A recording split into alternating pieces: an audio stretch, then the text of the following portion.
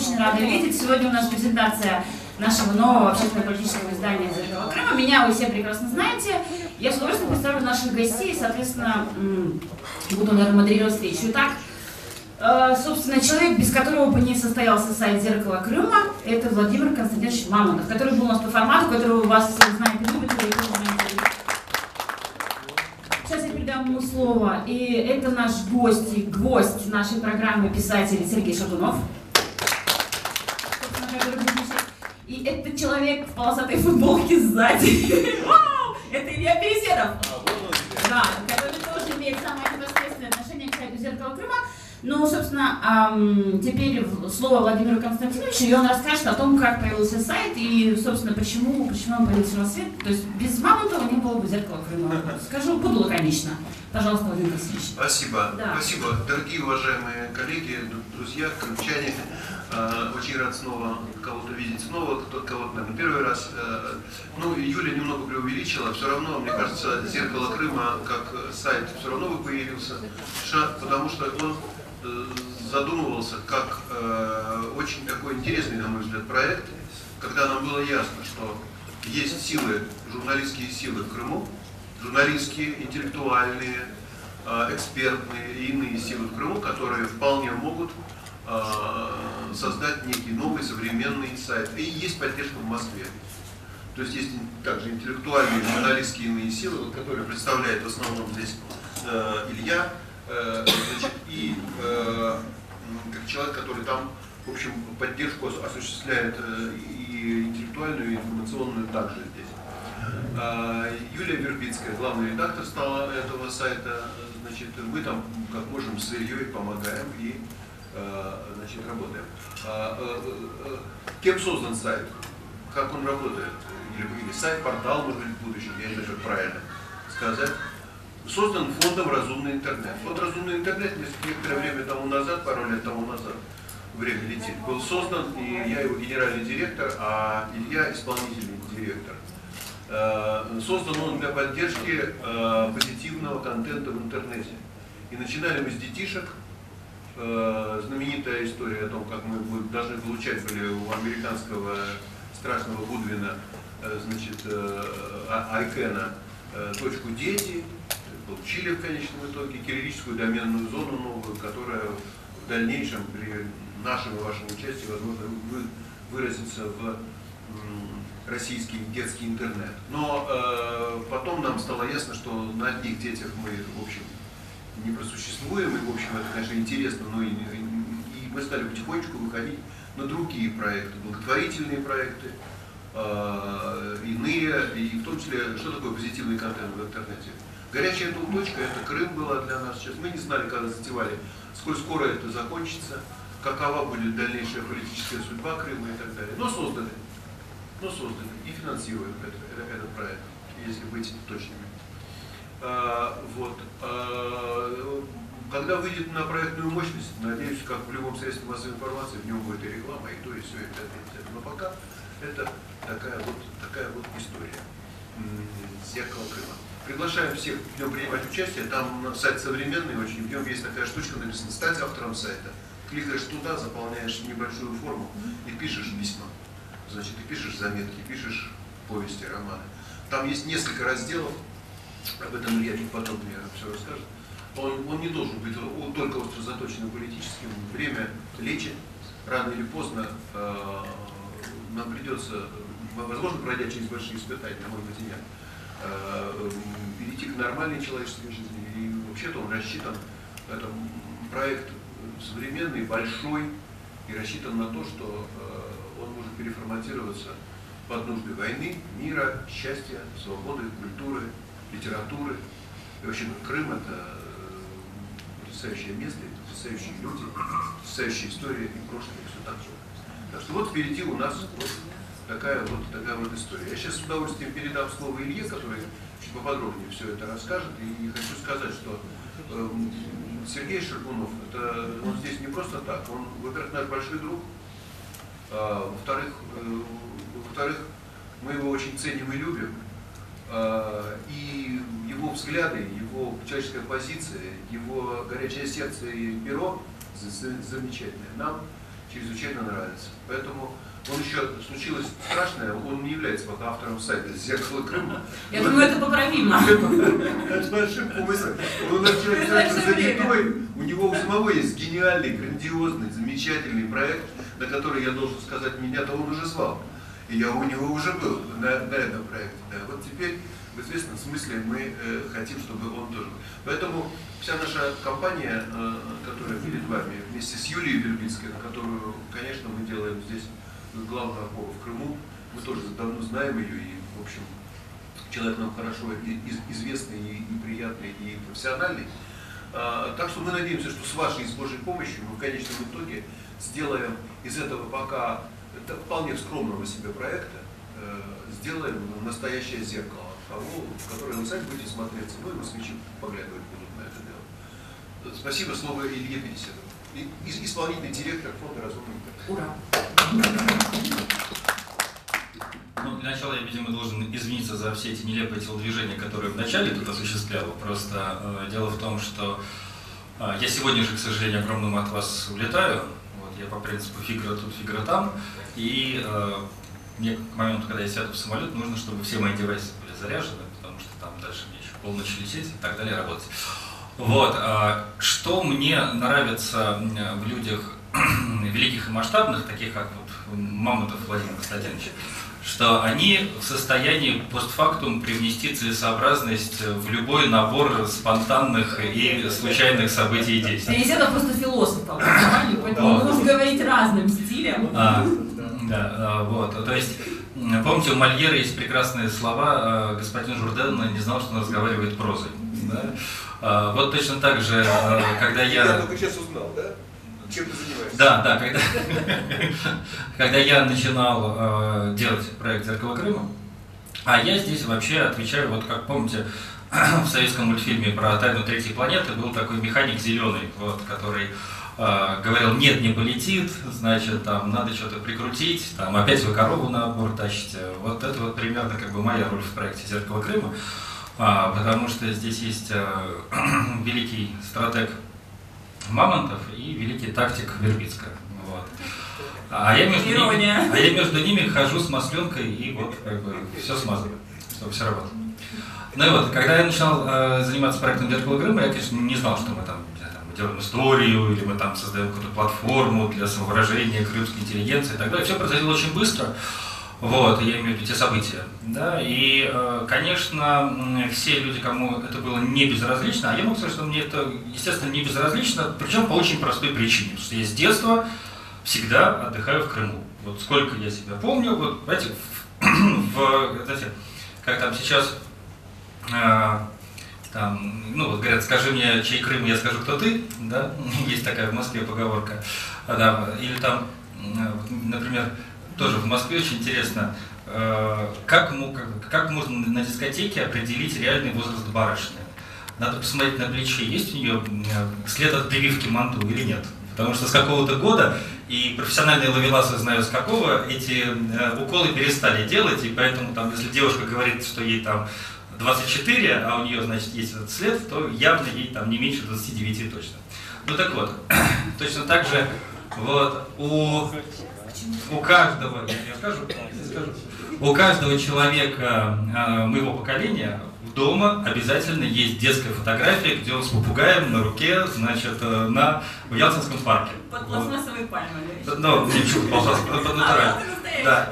Или в каком-нибудь, значит, гусарской шапке, значит, в карете. Ну, это есть, понимаете? Это, это есть у каждого, а вдруг оказывается, что сейчас уже есть люди, у которых этого нет, да, вот дети подросли, например. А у меня были. Вот. И я помню, там, я знаю с детства Судак, я знаю с детства Новый Свет, я знаю с детства Мисхор, я знаю Черноморское, я даже знаю. Вот. Что не каждый москвич чем может похвастаться. И да, а, как как крымчанин даже, да?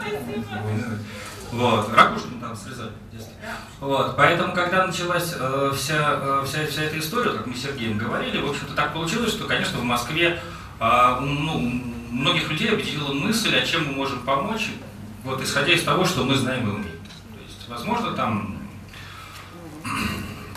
кто-то, кто хорошо знает военное дело, сегодня вот каким-то образом пытается что-то изменить Донецке, да, но а, вот те люди, которые сейчас здесь сидят за этим столом, так получилось, что их всех объединяет журналистика, да, там, вот там Мама, сейчас генеральный директор радиостанции «Говорит Москва», там у него, когда мы начинали, была программа на радиостанции Сити ФМ, авторская, у меня авторская программа на радиостанции Столицы ФМ, у Шургунова авторская программа на радиостанции, на нескольких радиостанциях, да.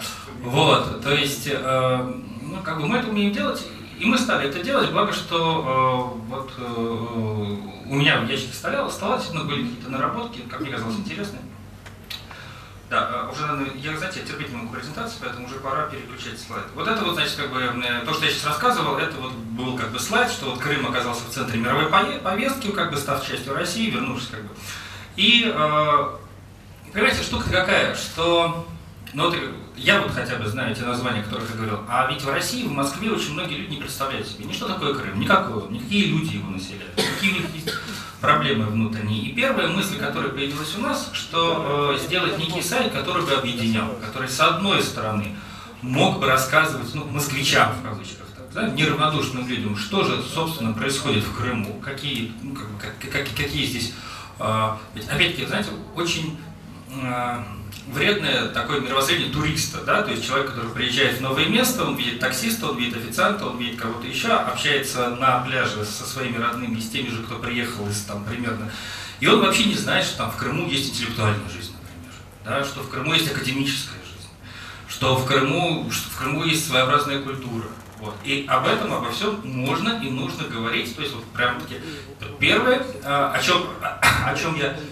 трепал и продолжаю трепать Вербийскую. Давайте будем делать ликбез по Крыму. Да, это в планах. Нет, говорю, в целом, широко. Давайте будем делать ликбез по Крыму э, для, вот, для россиян. Да, широко, с одной стороны. А с другой стороны, э, ну, в России, в мире, Москве, в Нью-Йорке, в Тель-Авиве, где угодно, есть э, русскоговорящие люди, хорошие эксперты, аналитики, которым не безразлична судьба Крыма, которые готовы видеть это в широком... А, просто, не надо, чуть подальше его подожди. Я вообще могу без микрофона. Это история. Так вот, а, те, кто воспринимают сегодня Крым в широком аспекте там, мировой политики, аналитики и так далее, чье мнение может быть интересно, в том числе и крымчан. И вот э, это изначально были две слагающих, две, две слагаемых наших бутерброда. Что с одной стороны мы пытаемся говорить и писать о Крыме, не то, что мы, мы хотим, чтобы это делали местные журналисты, разумеется. С другой стороны, благодаря, на самом деле, в первую очередь, дружеским связям, конечно же, Владимира Константиновича, но в том числе и моим, мы можем привлечь к какой-то вот повестке, ориентированной на крымчан, вот, столичных интеллектуалов. Действительно, единственная возможность. Вот я теперь, там, сколько мы уже этим занимаемся, да, там, 4 месяца минимум мы активно производим материалы, и я мечтаю за, заиметь какую-то там текст или прямую речь Шаргунова у нас на сайте, мне это не удавалось. Теперь мы выложим стенограмму его выступления, и Шаргунов э, это, конечно, не очень рентабельно вот, привозить а, авторов э, в Крым, чтобы они что-то рассказали ради одной публикации. Да? Но это не с рентабельности работает. Да. вот. а, поэтому вот так мы, собственно говоря, жили и живем по формату. Сейчас я домотаю. Значит, что удивляет и, и не всем, кстати, нравится. Мы решили отступиться от привычного формата вот, информационного издания и строгого СМИ и э, решили сделать ставку на визуальную компоненту, то есть, грубо говоря, на картинке. А, причем здесь я могу с такой потаенной гордостью сказать, что, как мне кажется, вот формат э, сайта «Зеркало Крыма» — это вот такой уже следующий виток э, эволюции э, СМИ как таковых. Потому что вот там Мамонтов Владимир Константинович там, в свое время там, при мне учил молодых журналистов и говорил, что, э, дорогие, Если у вас на картинке спортсменка прыгает в бассейн, не надо ставить подпись под картинкой чемпион там, по гребле прыгает в бассейн, потому что ваши а, значит, читатели не идиоты, они и так видят, Нет, что... Если чемпионка по гребле неожиданно прыгает в бассейн, Это да. это тогда Да, надо по плаванию, по плаванию. Ну, я такой спортсмен, что мне все примерно одно и то же. Вот. Футбол с, с волейболом не путаю, то хорошо. Да. Что ваши читатели не идиоты, они могут понять, что вот эта вот женщина прыгает в бассейн, а лучше там использовать это для создания какой-то эмоции, интриги и так далее. Вот. Следующий, э, следующий э, виток э, развития э, СМИ таковой, что э, если э, речь статьи идет о какой-нибудь космической программе Украины, то там ни в коем случае не должен быть ни, никакой ни украинский космонавт, ни, ни ни какой-нибудь как бы космодром, а вот э, должен быть какой-нибудь улыбающийся мишка в скафандре э, или что-то еще. То есть когда э, э, иллюстрация, она служит для создания э, смыслового контекста. Когда Дополнительного смысла. да, дополнительного смысла, дополнительного м, настроения. М, Приносит элемент иронии. Ну, в меру, конечно. А, Поэтому не все, я должен заметить, э, с этим соглашаются. Вот особенно Вербицкая любит мне в ночи звонить и говорить о том, что... А я уже трубку беру, да, потому что я хитрый. Вот. Говорит, что это такое? Почему, почему у нас там на статье? Ну, я не буду. Да. То есть, если мы, мы вдохновляемся творчеством коллег, и те, кто нам близки идеологически, и те, кто нам не близки э, идеологически, ну, то есть, можно сказать, что действительно сайт «Зеркало Крыма», он сделан про таким как каноном и стандартам вот, современной исторической журналистики, при том, что он открыт для... Вот эти мне очень нравится котик, да, если вот по поводу проблемы э, воды в Крыму, когда началось. Вот. То есть вместо там, засухи и так далее, вот, ну, мы нашли вот как, как картинку этого славного котика. Да, нет, ну если есть как бы Прилепин, ну, естественно, у нас Прилепина ничего рассказывать. Вот. Но почему-то, когда Холмогоров, там корова. Нет, овца. Да. Ну, Бывает такое. Близость к природе. Сейчас у нас уже более 50 авторов, причем вот вы можете посмотреть, что из Москвы меньшинство, то есть в основном это Симферополь, и дальше пошло, там Киев, Донецк, Луганск, Харьков, Одесса, Ялта, Севастополь. И как раз э, я могу сказать, что мы-то очень заинтересованы в расширении именно, там, с одной стороны, то есть именно пула э, местных авторов, и в расширении не за счет там, профессиональных журналистов, а за счет э, талантливых, заинтересованных пишущих людей. Вот. И в этом плане действительно мы делаем большую ставку на интерактив. У нас можно оставлять комментарии, у нас можно предложить себя в качестве автора, можно предложить... Ой, можно я историю прекрасно расскажу? Про Калямбу. Слушайте, история про Калямбу. Когда мы начинали делать сайт, нам очень хотелось, чтобы была историческая составляющая компонента. Ну вот, чтобы про историю Крыма, вот что-то вот как бы рассказывалось у нас, для москвичей.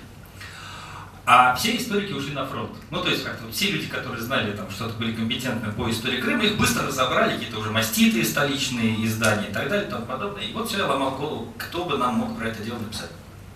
И друзья порекомендовали мне Калямбу. Значит, Калямба – это ник человека в интернете. Я точно не знаю, кто это. Ну вот, он свое имя не говорит. Может быть, он тут? Может быть, даже вот здесь, вот, да, да. Но он живет в Ялте. И а, как он рассказывает о себе, он ну, человек при погонах. Вот. Но там по интонациям, по стилистике, мне кажется, это ну, какой-нибудь там подполковник, причем там милиции или что-нибудь как бы такого, но который живет спокойно, размеренной жизнью, и у него достаточно много времени, чтобы ходить в местную библиотеку. Значит, и есть, как оказалось, выяснилось у Калямбы одна, но пламенная страсть. Он ходит в местную библиотеку, достает там подшивки советских газет, вот как бы прям старых-старых-старых, и выискивает в них материалы, которые имеют отношение к дню сегодняшнему. Ну, там параллели. Передача Крыма, значит, внутри Советского Союза от России э, к Украине, там, на военную тематику, там, борьба с, как бы, с бандеровцами и прочее, прочее, прочее. И делает сканы, приносит домой и складывает в папочку.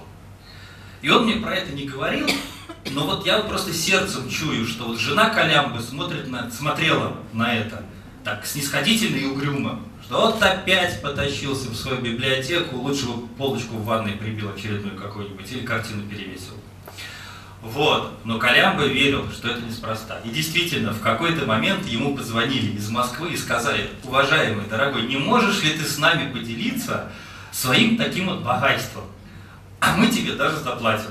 Вот, Колямба согласился, мы нашли студента, который все это расшифровывает, как бы. И вот и у нас появился уникальнейший контент, материалы, да, там прямые, прямые свидетельства из советских газет, которые уже наши эксперты могут комментировать, как-то обрабатывать. И опять-таки, я, конечно, этого не видел, но я вот сердцем чувствую, что в какой-то момент, когда Колямба получил от меня свой первый перевод, он пришел домой, так положил, гонорар, да, положил так жене э, на кухне сказал, на, зараза, иди, купи себе. Вот, шиньон, да, сапоги. Вот.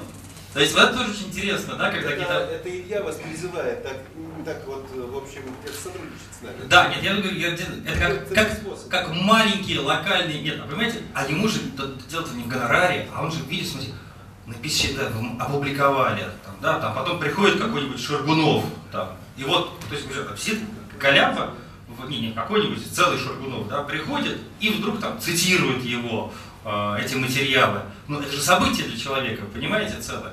Так что а, как раз мне кажется, что сила интернета именно в том, что он позволяет сегодня объединять людей, исходя из их как бы, интересов, исходя из их внутренней активности, вне зависимости от того, там, насколько высоко, далеко они друг от друга отстают. А, здесь э, вот у нас есть галерея наших, собственно, авторов. Я думаю, что кого-то из них можно представить отдельно. А, вот по раскладке наших посещений видно, что э, примерно Россия и Украина э, одинаковы. Вот. Но есть Беларусь, есть Америка, Казахстан, Германия, Нидерланды, Молдова. Причем очень вот за эти 4 месяца надо сказать, что мы добились того, что к нам очень много заходов по прямым запросам. То есть вот для профильной аудитории мы стали как бы известны, и люди ищут напрямую, как с одной стороны ищут зеркало Крыма, с другой стороны а, к нам попадают по запросам, имеющим просто отношение к Крыму, к украинской проблеме а, и так далее. Ну вот это тоже пример а, оформления а, статей. Вот. Здесь, видимо, не очень хороший интернет, поэтому была бы возможность показать. Давай, как добраться в Крым, да, видите, вот, как бы, э, паровозик в Ромашкино. Очень долго я думал, ставить или нет эту картинку с паровозиком, потому что э, те, у кого дома есть дети, и те, кто пересматривал недавно этот мультик, помнят, что паровозик шел в Ромашкино с огромным опозданием, потому что постоянно отвлекался на бабочек, цветы. По рельсам, а пешком? Вот, а? Пешком шел. По, нет, он шел по рельсам, он периодически с них сходил, вот, чтобы цветочек попадал. Да, но все-таки добро, добро, добро. У нас есть англоязычная версия.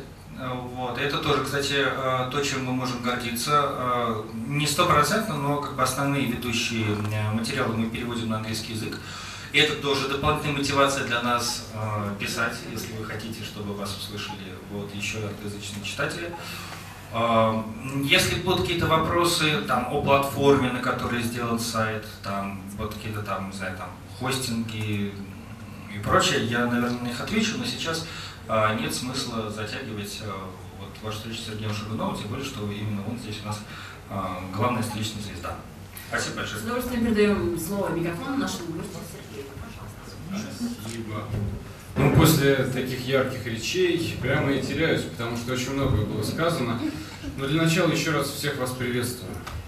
Так получилось, что я последний раз был здесь в начале марта Здесь это буквально вот даже вот в этой самой гостинице Москва. И мы сидели и ужинали с Александром Бородаем, который уже далече. А потом э, в нескольких кварталах отсюда я сидел и э, завтракал с известным теперь уже всем Игорем Стрелковым. И вот э, те события, которые я наблюдал здесь, в Крыму, тогда, еще перед референдумом, они, конечно, остались навсегда со мной. И для меня бесконечно важно и дорого то, что тогда удалось избежать войны. И мне очень хочется верить, несмотря на все те сводки, которые поступают в последнее время, достаточно тревожные сообщения, что Крым прочно защищен. Не мне вам рассказывать о Крыме, и в этом есть некоторое даже чувство неловкости в общении, потому что очень интересно было бы вас пораспрашивать. Я, в отличие от моего глубоко чтимого товарища Фигара, а, приехал сюда на чуть более долгий срок, на целую неделю, и буду не только, конечно, в Симферополе, но и в других местах, и будет интересно поговорить. Это э, совсем не первый приезд. Я приезжал точно так же и в детстве, и, и в 20, 21 и так далее, в разные годы. Э, и всякий раз это были какие-то новые, очень серьезные впечатления. Но вот э, тот визит в феврале, в марте, когда а, я ездил на эти перешейки, видел эти заслоны. Когда потом поехал в Севастополь и наблюдал там большую ликующую площадь, и при этом исполненную, конечно же, тревоги. Когда было ощущение, что вот этот патриотизм – это своего рода религия того же Севастополя. И приезжающим из Москвы, да вообще приезжающим из России – мне кажется, патриотизму нужно учиться у крымчан, русскому, российскому патриотизму, а вот э, этому выстраданному пониманию, что такое Родина. Многим по-прежнему это непонятно, и в той же медийной среде, и немало скепсиса, сомнений, э, разговоров, но это прежде всего в определенной столичной тусовке. И моя речь как раз, э, как мы это обговаривали, во многом посвящена как раз э, теме подачи Крыма в средствах массовой информации, а также тому, как в контексте актуальной политики сегодня представлен крымский вопрос. Ну и, конечно, куда же деться от искусства, от культуры, я хочу сказать, что пока что не написано, конечно, каких-то больших, и, да и, в общем, и малых произведений о последней крымской драме, но я думаю, что это возникнет. Больше того, ко мне обращались с предложением сделать сценарий, чтобы появился фильм на эту тему. Кто-то говорит, что большое видится на расстоянии. Мне кажется, что рассказать о судьбах людей на фоне исторического события, конечно, было бы интересно. Но, наверное, для начала это будет рассказ или повесть, причем очень важно именно по-человечески говорить об этом. Очень замечательно, что сайт «Зеркало Крыма» возник, начал действовать. Хотелось бы пожелать ему больших успехов и большого количества читателей. Действительно, здесь было упомянуто о том, что я э, тоже представляю сайт, есть сайт «Свободная пресса», где главный редактор, у нас есть свои корреспонденты в Крыму. Надеюсь, я здесь не а, перебиваю, что называется.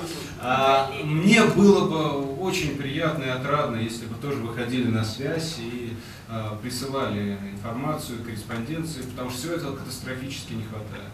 Когда сейчас я некоторые наброски делал для повести о крымских событиях, я звонил нашему журналисту, есть такой э, Сергей э, Ильченко здесь, и э, он мне рассказывал, потому что очень многие вещи, вот эти детали, вот эти события, эти тонкие узлы времени, их знает только тот, кто это прожил. И то это вам известно, как все было, как все обстояло. Но согласитесь, не знаю, будете ли вы со мной спорить или нет, во всем этом было некоторое ощущение сновидения. Еще вот за несколько месяцев никто не мог подумать, да, что все так обернется. И в реальности, да. Да, и, и, и вот, это, вот, это, вот, это, вот это сновиденческое впечатление, вы знаете, а, при этом лично для меня было подкреплено давним выстраданным чувством причастности к Крыму. А, мои товарищи приезжали сюда и поднимали флаг э, в Севастополе с плакатом «Севастополь – русский город». А, мои друзья старались работать э, в русской общине. А, когда я сам приезжал сюда, я разговаривал с людьми, спрашивал их, потому что меня не оставляла эта тема принадлежности Крыма. Я, как сейчас помню, ночь, ну, сумерки такие летние, и вот э, два силуэта выходят из тьмы, это мать, мать и дочь, и шевелятся губы, и мне, мне говорит эта девочка, что она мне говорит, мы ждем, когда Россия вернется. Я чувствую какую-то пронзительную такую остроту почему-то этого момента. Понимаю, что ну, ну а с какого рожна Россия вернется, тем не менее говорю им совершенно уверенным голосом. Конечно, вернется, вы не беспокойтесь, Россия обязательно вернется. И это воспоминание 2001 года со мной. А, и я был совсем подростком, но я уже тогда внимательнейшим образом э, следил за вот этой попыткой крымчан доказать себя, проявить себя, отстоять себя. 92 год, э, стремление провести референдум. Здесь я как раз перехожу к политическому аспекту нашего разговора. А, Президент э, Мешков, чтобы о нем не говорили, попытка провести референдум по Конституции, Верховный Совет, который пытается себя отставить, и а, вот это очевидное подавление. К сожалению, во многом при попустительстве тогдашней Москвы. К сожалению, тогда не так много было людей, которые из России были готовы по-настоящему поддержать. А те, кто приезжал, ну, конечно, их отшивали. Говорутин мне рассказывал, что его там держали где-то на границе, там чуть ли не депортировали прославленного кинорежиссера. И тогда был поставлен, по сути, жесткий кордон. Было поставлено э, как будто бы непреодолимое препятствие для всех, кто пытается способствовать этому союзу, этому единению Крыма и России. И во многом это неизученная и забытая история. Я помню, как Верховный Совет России летом 93-го голосовал об особом статусе полуострова и непосредственно города-героя Севастополя. И приезжали делегации и стояли на этом балконе и размахивали Андреевским стягом. И казалось, что-то сдвигается, но немедленно настороженные Соединенные Штаты вызывали на ковер министра иностранных дел Андрея Козырева, и он отчитывался, что это постановление не имеет никакой практической силы. Не беспокойтесь. И было ощущение, что время уходит. Вырастает новое поколение. Россия в культурном и интеллектуальном плане отсутствует. Возникает вот именно этот поколенческий пробел. Казалось, что столько всего упущено.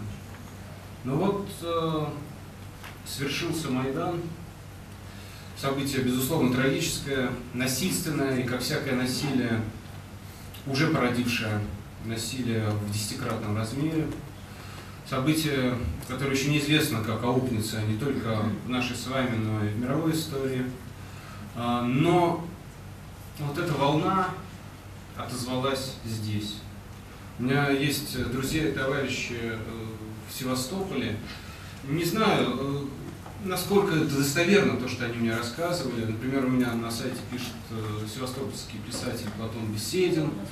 Да, да, да. Так получилось. И, потом, когда я приехал в Севастополь, когда все было еще очень напряжено, мы как раз смотрели тут заседание Совета Федерации и так далее, Саша Борода еще никакой не премьер ДНР, просто активист. И, э, мы ходили по этим улицам, видели Э, множество людей, кричащих в России, видели флаги. Я видел на, на узкой дороге э, пляшущих от радости беркутовцев, которых еще недавно жгли живьем, которые поняли, что они теперь под защитой России.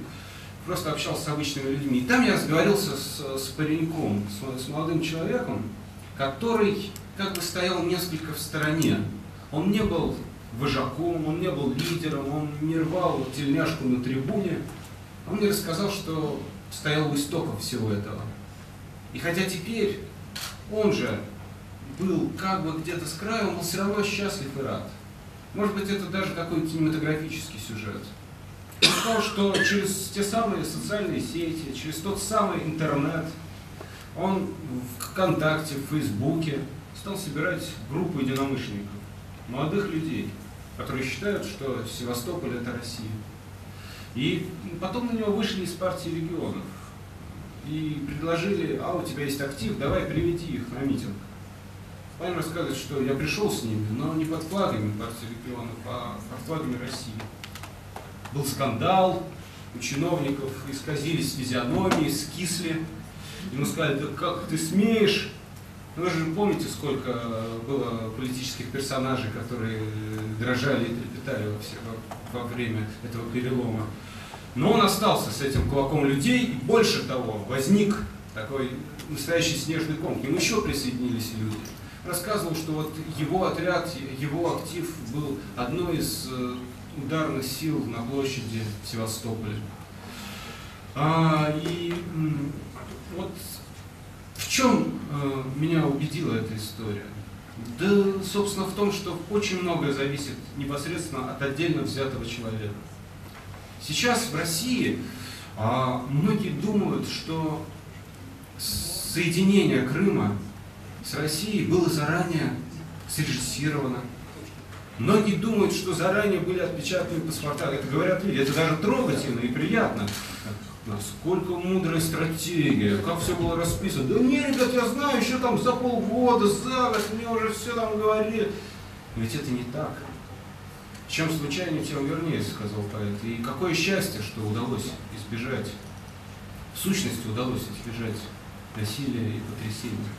Но все это было сделано стремительно, но фактор человеческой личности был здесь принципиальным. Без отдельных людей, которые вместе составляют народ, без э, мужества, без выдержки, ничего бы не получилось. Я наблюдал своими глазами, как готовился референдум, как обсуждали, а, а все-таки вот провести его сейчас, когда запланировали, или чуть пораньше. Когда начинаются разговоры, кстати говоря, о том, а почему так быстро? Да он готовился, на мой взгляд, все эти 20 лет. А может быть, и с того самого момента, который зафиксирован в газетных архивах, когда так волюнтаристски Крым был отдан Украинской ССР. Фактор личности и фактор людей. Мне кажется, сейчас по-прежнему это самое главное. Когда мы слышим какие-то безумные шапкозакидательские заявления так называемого министра обороны Украины о проведении парада в Севастополе, хочется спросить, а, а люди где? А жители где? А их мнение? А где вся та самая хваленая демократия, ради которой якобы и совершался переворот? Я думаю, что, конечно, сейчас все непросто и тяжело. И э, в, вот, э, в московской столичной либеральной среде от политики здесь делаю шажок к теме медиа, средства массовой информации. Конечно же, бесконечно дебатируется вопрос, а как живет Крым? А ведь не только украинское телевидение. Это вот у нас, вот я сегодня утром два часа подряд был на «Эхо Москвы», одной из тем э, был, конечно же, Крым. И причем одновременно говорится, что это черная дыра, вы не знаете, там вообще страшно, никто не приехал, отдыхающих нет. Это же страшные затраты, не знаете, весь бюджет сейчас уйдет, пенсии. Но на самом деле вся эта риторика, это даже, не знаю, можно назвать пропагандой, она не действует. Потому что здесь срабатывают какие-то другие законы. Здесь работает сердце. Ведь, конечно, все, что происходит сейчас на Юго-Востоке, в Донбассе, это запутанный кровавый клубок. Это, это, это, это страшные противоречия. Но при этом каждый человек, вне зависимости от того, сколько аргументов звучит, вне зависимости от того, какие ухищрения в информационной войне используются, все равно каждый человек выбирает своим сердцем. Он чувствует, где свое, где свои, где правда, та правда, которая столь важна для него самого. И поэтому я уверяю вас, вот не знаю, как крымчане, но для абсолютного большинства россиян, крымчане теперь тоже россияне, тех россиян, которые не были с Крымом, это, конечно, праздник и счастье. И я слышал многожды, неоднократно, что мы готовы пойти на самые разные испытания. Но ценность этого единства с Крымом для нас принципиально и столь велика, что эти испытания в сущности не страшат, а на самом деле даже забавляют. А, и на самом деле, так сказать, завершая свою, как это было э, предложено, да, предложено, да, э, называть э, лекции, я, я думаю, что было бы очень важно, не просто чтобы вы там написали какие-то тексты, а было бы очень важно и интересно пообщаться. Правда? И я был бы рад услышать какие-то ваши вопросы или, может быть, реплики, суждения. Спасибо. Да, спасибо, Сергей. У нас в зале нет микрофона, поэтому просто мы все друг друга знаем. Да, слышимость хорошая. Есть вопрос, да? Да, пожалуйста. Э, Здравствуйте, Владимир. Ну, в общем, Илья говорил, что не против привлечь э, местное блок-сообщество. Я правильно вас понял, да? Хорошо. Больше того, мы уже привлекаем. Да, да, и ну, работаем, прекрасно. и страшно Э, благодарны. История э, с Колямбой, ну, намек тоже понят, в принципе. Но существует ли на сегодняшний день какая-то более вразумительная схема, допустим, поощрения потенциальных авторов? Все. Еще более, еще более образумительная. Да, да. Сейчас у нас такая схема. Печатаем, вы печатаете у нас материал, мы оплатим гонорар. Что вы должны еще Не, ну, сделать? Ну, просто Колямбой запутались. Как колян? Колян тоже Как, получаем. как за- за- за- за- запутали? Я как раз подумал, что Не безвозмездно, я мы же думаю. подходили к сцене на кухне, собственно, так- там, там, там, где его встречает э, счастливая жена в новых сапогах, поэтому или там с новым э, набором кастрюль. Ну, собственно, речь Переситова должна была вдохновить э, блогером. Она, собственно, не была и опущена. правда? А, да, нет, безусловно, нет, конечно, нет. У нас, у нас есть гон- гонорарный фонд, но поскольку все-таки формат работы сайта сейчас это действительно такой ну, инициатива неравнодушных людей, вот, поэтому э, мы вынуждены с каждым человеком договариваться индивидуально, все зависит от того, как часто он для нас пишет, насколько это уникальный контент, ну, как бы и так далее и тому подобное. Но Ну тоже ничего удивительного, мне кажется. Так все и работают. То есть, ну, Договаривают, да. Да, То есть на вопрос там, ну как, где деньги ЗИН, да, деньги здесь. А. Дальше. Можно вопрос, да? Да. Стоп, у нас еще был вопрос, подождите, Смета. Вася Нестеренко вам разрешение давал его картину использовать? Кто? Вот Вася Нестеренко, его картина там на фоне. Нет, с Васей Нестеренко, с Василием мы хорошо знакомы, поэтому этот вопрос регулируем. Мы договариваемся, да, а там, где есть возможность, мы со всеми Не, авторами какая часть- договариваемся. Какая? Не, вот все, фон, то, что идет, это... Ну, вот это основная, которая Вася в Севастополе, Нестеренко, да. Мои однокашники. А, Пожалуйста, Наталья нет, нет, Ивановна. нет, мы будем, будем договариваться со всеми и А то числе такой у нас нормально. Не, мы нормальные ребята, мы с нами можно договариваться. Мы Нет, мы всегда мы и указываем источники, и связываемся с авторами. Там, спрашиваете меня, то есть конкретно про этот баннер я вам не скажу, но 90% Вопрос вот что да. какой. Наталья Гаврилева, интернет-газета «Крымское эхо». Мы тоже, кстати, рассказываем о Крыме. Пожалуйста, зайдите, А мы посмотрите. А мы заходим, знаем. мы заходим в Уже да? почти 7 лет. Мы с Владимиром даже интервью, по-моему, даже не один Было раз дело. Да, делали. да, да, да, да. А, я не об этом. А, вот о чем. А, хотя и об этом тоже, Ну, да. Тут все журналисты, поэтому... А, значит, смотрите, а, у меня вопрос вот к Владимиру и к Сергею. Смотрите, а, действительно ситуация с Крымом, Крымская весна, она, а, я знаю, у меня по э, России есть э, очень хорошие друзья, я просто вижу, э, есть даже аполитичные люди, даже их это всколыхнуло и так далее. А, вопрос вот в чем. Вы знаете, я, у меня получилось так, что я, я крымчанка, уехала учиться в Россию, спустя 13 лет я назад вернулась в Крым. Это было как раз перед развалом Союза. Я давно живу. Э, э, Для меня знакомо это чувство, когда я приехала домой, а, шкаф оказался не на том месте, значит, э, на кухне был, было э, совсем э, такое безобразие, которое я себе никогда уже не позволяла, ну и так далее, и так далее. Вы понимаете, о чем я говорю, да? Вот мы сейчас вернулись в Россию, и мы сейчас э, практически каждый день, каждый час а, изучаем, а что же это за э, наш родной дом, куда мы вернулись.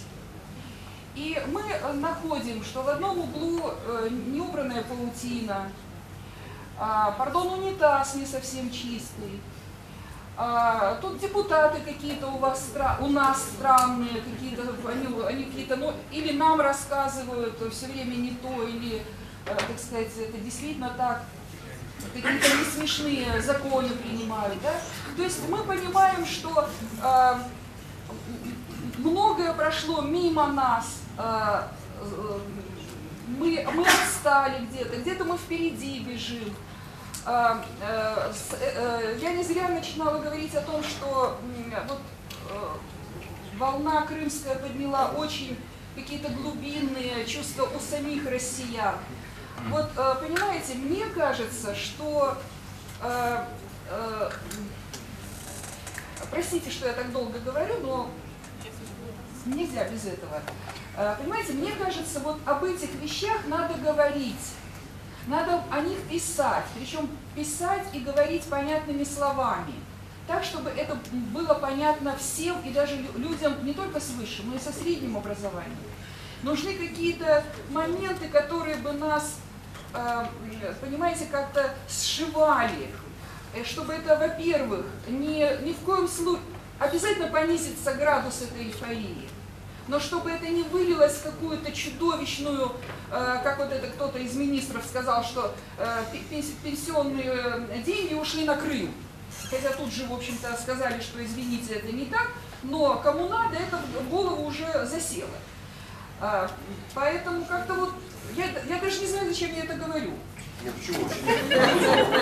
Честно говоря, а, то есть э, мне кажется, что это, те вещи, о которых нам надо с вами, может быть, договориться и действовать и э, свободной прессой вместе, и зеркало Крыма, и Крымское эхо, и куча еще тех людей, которые в, этом, в этой теме понимают, а эта тема страшно серьезная. Спасибо, Наталья Ивановна. Ну давайте я может, чуть-чуть коротенько. Коротенько скажу, вы мне и Сергею адресовали вопрос. Наверное, да не, надо, я докричусь. Э, Значит, э, мне- мне, же кажется, слышно все, да? Слышно. Да, я думаю, хорошо. Э, Очень коротко скажу.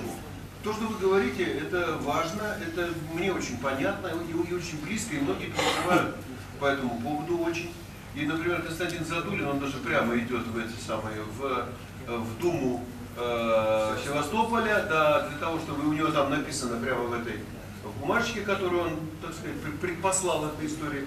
Я говорит, иду для того, в значительной степени, чтобы не допустить опошления той гигантской, хорошей, хорошего гигантского дела, которое, так сказать, у нас с вами тут вырисовалось. Да? И так многие, наверное, думают, что мы не допустим и так далее, не, не стоит. Вы говорите о градусе, вы говорите о каких-то вещах, там, которые, несомненно, будут понижены.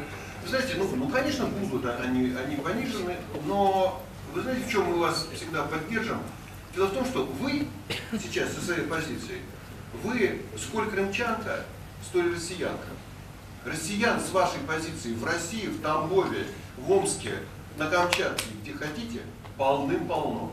Это ваши абсолютнейшие э, коллеги, это ваши абсолютнейшие соратники, скажем так, по улучшению России в целом. Вот этот момент, когда мы, вы обнаружите, что Россия страшно разная, вы и так это знали. Вы сами оттуда, вы там учились, вы там родились и так далее, да, или Россия, или Советский Союз. И вы обнаружите, что она разная. И вы найдете не только общую какую-то, так сказать, вот, я не знаю, там, мать Родину, да, на- нашу, э, но и э, войдете весь Крым, и каждый человек крымчанин войдет в свою социальную страну, немножко поживет в, в- России, немножко посмотрит, вот тут вроде унитаз грязный, а тут смотришь уже и чистый. Есть там и чистые опарыши. Понимаете, в чем дело? И в Крыму разные. Я вот тоже в Крыму приезжаю, смотрю, ну, в общем, я бы и почистил. Кое-что. А кое-что смотрю, прямо сердце радуется. Я, Крым люблю очень, и поэтому, поэтому мне кажется, что вот эта вот история, это ложное противопоставление, когда э, все крымчане внезапно э, в некую общую Россию как-то так с изумлением встраиваются. Каждый встраивается индивидуально, каждый встраив- встраивается по своей схеме. Мы к вам, вы к нам. А, Дети потом пойдут, значит, в какие-то школы, потом поедут учиться. Дети в хорошем смысле пойдут. Знаете, я, я вам скажу маленькое. Вот, по-моему, вот так вот будет встраиваться, чисто по-человечески. Я сидел в Харосе, э, смотрел футбол э, в ресторанчике. Значит, и на мне была майка. А майка такая хорошая, скоро дети. Э, Значит, называется это наша доменная зона, о которой я вам говорил, не на майке написано. Скоро точка дети. Ко мне подходит официантка и такая симпатичная молодая девушка и говорит, а что это у вас на майке такое написано, интересно? Я говорю, ну это виртуальная такое, э, значит, такая история. А, виртуальная. Опечалилась очень, понимаете, да. Чисто по-человечески я понял, что там проблема. Но я уже не тот, чтобы помочь решить эту проблему. Это виртуальная такая история. Вот из таких историй, когда мы друг друга будем лучше узнавать, будем доброжелательны друг другу, умны, толковы, не будем впадать в истерику друг перед другом. Что это вы нам, а что это? А мы тоже думали у вас тут. Мы все одна семья, новая, большая. Будем притираться, а что делать? В чем-то мы очень сильны, в чем-то очень едины, в чем-то разные. Кто под Украиной пр- поживет 20 лет, у того с головой не все будет. Будем друг друга слушать, больше выпивать крымского вина хорошего, и у нас все получится. Полностью согласен. На самом деле согласен. Лучше еще один вопрос, и может быть э, в продолжение. Да, Санкт-Петербургское землячество Крыма. Э, Значит, э, ну я открою небольшой секрет, вот у крымчан вы все-таки можете услышать часто. Ну что такое Москва? Москва это одна из провинций Херсонеса. Э, Значит, Крыму, вот, э, скажем, то, что не так все печально, и у Крыма сейчас даже учатся, эти 23 года тоже, в общем-то, прошли. Вот у меня у жены на работе сейчас ездят и приезжают, это Тамбов, Пенза и так далее, они говорят, у вас более правильный русский язык сохранился. У нас, говорит, вот уже пошло такое, нас, говорит, вот мы вот видим, как вы пишете, как вы разговариваете, сохранился правильный русский язык. Ну а теперь по поводу провинции Херсонеса, мы как-то выполняли один проект и изучали транспортный потенциал, потенциал подлета самолетов. Так вот, выяснилось так, что Симферополь э, стоит в центре Крыма. И плюс-минус 40 километров от Симферополя до э, Киева и Стамбула 720 километров. От Симферополя следующий идет э, Москва и Афины 1200 километров. И следующий круг пошел Каир, Рим, Берлин и Санкт-Петербург. Ну, немножко туда. Ну, если посмотреть, вот старые, так сказать, города, ну, это же, я говорю, Москва и Афины, все эти цивилизации побывали здесь, так или не остались. Вот как вы считаете, можно ли Крым назвать центральной геополитической провинцией? Ну, учитывая, что Севастополь пошел и Красный Крест, новые технологии и так далее. Ялта вообще переиграла перед мир. Вот то, что сейчас произошел референдум, это же было ну, порядка 1800 наблюдателей. Все эти наблюдатели сейчас, курды заговорили, мы будем проводить референдум, э, заговорил этот Джульетта Кеза, сказал, ничего страшного, если Сардиния отделится референдумом и так далее. И Там так далее. Шотландия нависает. Да, Шотландия, Ирландия и так далее, и так далее. То есть, вот, скажем так, если Ялта новый мир, то это самое. Как вы считаете, можно ли Крым назвать центральной геополитической провинцией? Ну, я соглашусь с вами, что, конечно, положение Крыма центральное, но на самом деле не только из-за территориального расположения, а еще из-за места в истории, и из-за того, какие события здесь всегда происходили, и из-за того, что на, на фоне чего происходил референдум. Ведь это же стало вызовом миропорядку, вернее, разрушению двуполярного мира. Это стало вызовом вот той самой однополярной диктатуры, с которой мы сталкиваемся, когда одним можно, а другим нельзя. Потому что если мы слышим разговоры о том, что ну а чего крымчане, лучше бы они там в мирных условиях, бы там еще подождали, это же абсолютное лицемерие. Никогда никому, ни в Европе, ни в США, к большому сожалению, не было никакого дела до прав крымчан, до их попыток заявить о себе. Их не существовало. Э- э- Это, это не, не- не, э, те самые албанцы Kosovo. Нет, это, это другая история. Что касается территориального расположения, ну, разумеется, да. И это ведь не фигура речи, как говорится, на базе НАТО, которая могла бы быть в Севастополе. Буквально или не буквально, другой вопрос. Но близость Турции, о которой вы сказали. И э, то, что Крым омывает Черное море. Крым всегда, а, на самом деле, был яблоком раздора. Издревле. И это, это, это принципиально военно-стратегическое место. Это, это место постоянного конфликта. Но, с другой стороны, вот по моим впечатлениям, может, вы здесь опровергнете, внутренне, вот по настроениям, люди мягкие и добрые. Сейчас раздувают тему, что вот, э, возможно, какое-то там э, страшное антирусское, антироссийское подполье. Я в это не верю. Мне кажется, что люди всех национальностей в массе своей хотят жить спокойно и мирно. Мне кажется, что вот какого-то экстрима, стремления к воинственности здесь как раз никогда не было. Ну, за последние годы уж точно. Это самое главное. И э, на самом деле правильно было сказано, что Россия переживает ровно те же психологические, бытовые трудности. Мы, в- ведь, несмотря на то, что мы были разделены, мы же все равно были вместе. Вот что важно. Не было же какой-то страшной, великой каменной китайской стены между нами. Точно так же ездили э, россияне каждый год. И ездили, конечно, люди из Украины, но и сейчас многие ездят. А, и слишком много общего. Принципе, это единое пространство. Когда говорят словосочетание «русский мир», которое превращается в несколько заезженное, для меня это не пустой звук, это реальность. И какие-то политические несовершенства, они же тоже имеют свою логику. Как, как бы я, я бесконечно критичен там, по отношению к, ко многим сторонам нашей реальности, но с другой стороны, эти же самые депутаты, все как один, искренне голосовали за Крым, понимаете, искренне от всей души, и готовы подставиться как угодно под любой удар, под любой санкции. Тоже не нужно демонизировать этих людей. Да, есть моменты там с э, консервативными представлениями, и опять-таки не все законы, которые принимаются так, так уж э, безумны, как пытаются малевать. Например, э, некоторые моменты в той же Европе консервативное население с э, большой симпатией смотрит на Россию, когда принимаются некоторые вещи там, по поводу запрета, там, известно чего среди несовершеннолетних. Говорят, ну молодцы, вот, он круто. Многие мои знакомые французы, то есть как раз это может быть даже выглядит как закон на экспорт. Какой-то там ироничный, либеральный, столичной тусовки, люди кривятся, ха-ха, что за проблема, Ну, например, там для Западной Европы это реальная проблема и, и реальный диктат, диктат так называемой свободы по Орвелу. А все остальное тоже нужно рассматривать предметно. И, кроме всего прочего, мы же видим, что, к сожалению, очень часто как раз те, кто громче всех кричат о свободе, о либерализме, о правах человека, по факту перечеркивают их на отмаш.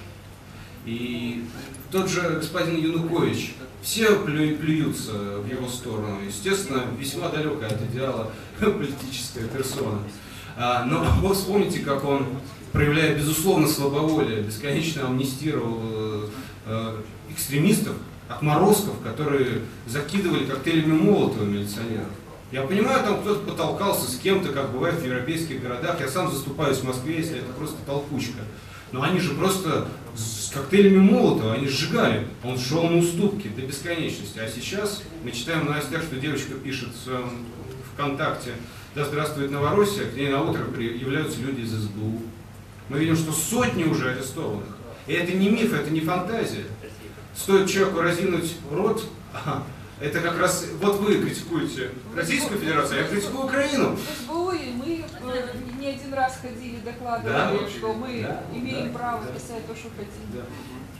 Ну, вот видите, например, в нынешней ситуации все же тоже в развитии своем, да, все в своей динамике. А теперь оказывается, что вчерашние, вчерашние чиновники или депутаты там, партии регионов, КПУ, которые сидели на своем месте, там просто, они от страха, во-первых, там половина разбежались, стали голосовать, чертыхаясь на чистом русском языке, матерясь в курилках, они голосовали против русского языка, и они же вообще полностью ликвидировали, их нет как политической силы. То есть в результате борьбы за демократию разрушили баланс сил. Люди, за которых голосовали миллионы, которые представляли какие-то территории, да, при всем своем несовершенстве, а- они не могут разинуть пасть, потому что только ты начинаешь говорить, ребят, не убивайте женщин и детей, сепаратюга. Все. Поэтому э, это я не к тому, что я собираюсь, значит, сказать, а вот там у них. э, Мы все и так, каждый сам делает свои выводы. Я к тому, что, к сожалению, м, кроме того, что есть там не идеальная Государственная Дума, надо видеть, что происходит рядом. Рядом происходит война. Мне бы очень хотелось, чтобы эта война не расширялась, не распространялась. Мне очень хотелось, чтобы она закончилась.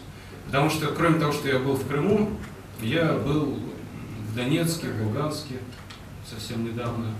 И я был на всех этих территориях, в поселках, в городках, все это видел. Была журналистская, журналистская поездка, но бесконечно тяжело и, в общем-то, даже непередаваемо. А То, что увидел там, услышал те впечатления, которые там получил. Это очень тяжело. И слава Богу, что этого не происходит здесь.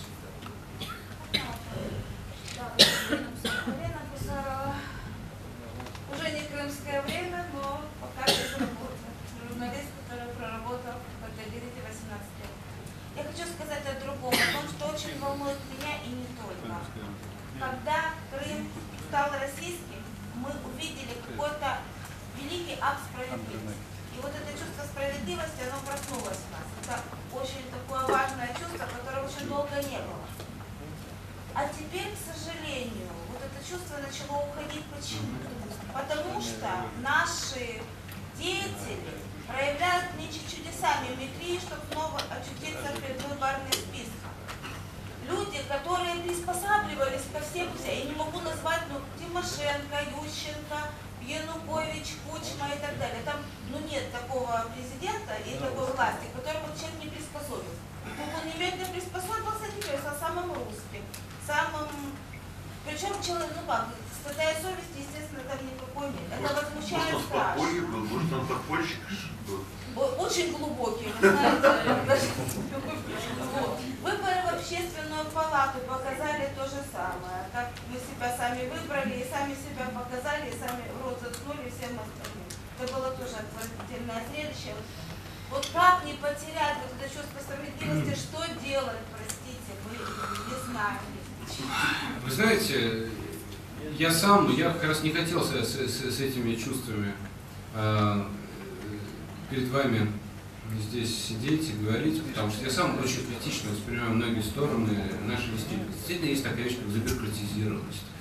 Она есть, но это все изживается вот, личным усилием, вот, поверьте мне. Просто, мне кажется, существуют такие вещи, которые э, исторические, они времен, вневременные. Это то, что называется поверх барьеров. Каким бы сложным и далеким от идеалов не было то или иное начальство, мне кажется, что останется навсегда главный факт и главное событие. То, что Крым и Россия теперь вместе.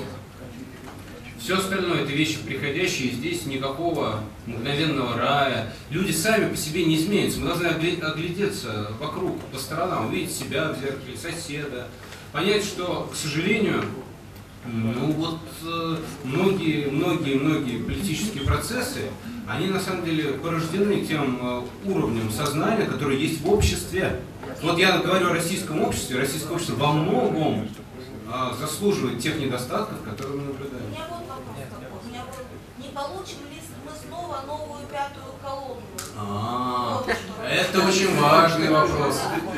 И пятую, и шестую, и седьмую. Да. А, Вы понимаете, дело, м, дело в том, что я об этом тоже часто говорю. Вот именно два важнейших тезиса. Первый. Кроме того, что русский мир, э, важна идея, важен тот проект, который мы можем предлагать. И я вот поэтому с такой болью отношусь к тому, что сейчас происходит в Новороссии, то есть э, Луганск и.